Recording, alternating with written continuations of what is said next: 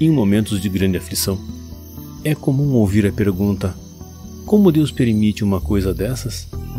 A pergunta tem sua razão de ser e uma resposta desconcertantemente simples, com a visão de um pai que não pode furtar-se de preparar seus filhos para dificuldades e para levá-los ao próximo nível de sua evolução.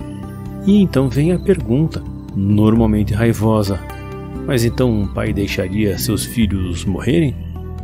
E novamente a resposta é simples e conclusiva.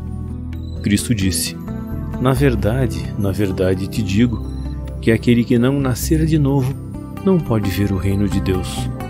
João, capítulo 3, versículo 3. Esse morrer e nascer de novo nos diz muito sobre o que precisamos aprender sobre nós mesmos e por vezes em uma vida inteira não conseguimos.